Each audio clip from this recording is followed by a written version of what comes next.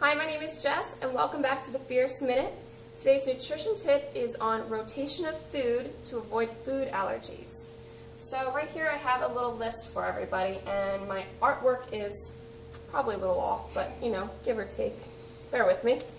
Um, food allergies are actually, it, it's pretty complicated with food allergies sometimes, but a lot of people are consuming a lot of protein um, sources and they're getting sick, you know, for days on end, or you know, maybe just their stomach isn't isn't quite 100%, feels a little weird. So a lot of people aren't understanding why they're getting sick.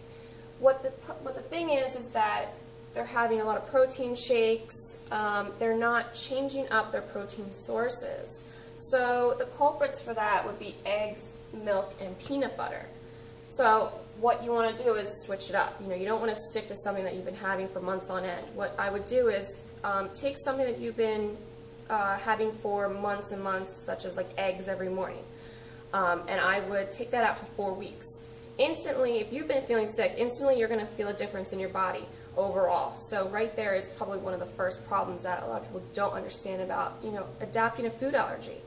Um, what I suggest is to try mixing up your sources. You always want to change your nutrients up from different protein sources and different um, carbohydrate sources, things like that. But what I suggest is instead of uh, having eggs for breakfast, try steak for breakfast.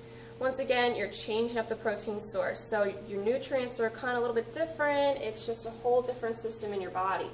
And, um, you know, and you're supposed to have your heaviest meal at breakfast anyway. So it's kind of a nice little tip there.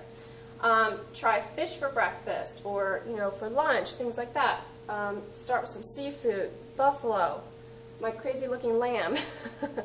um, the, the, point is just to mix it up. You know, for breakfast I'll, I'll have steak one morning as opposed to having my eggs. And I actually do that and I feel great and my body does feel a lot better.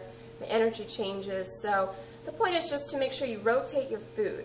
Rotate your protein sources, everything you can, just so your body doesn't adapt. Okay, the point is to stay away from getting food allergies. So hopefully this tip helps. I know my artwork's a little off, but you know, what can I say?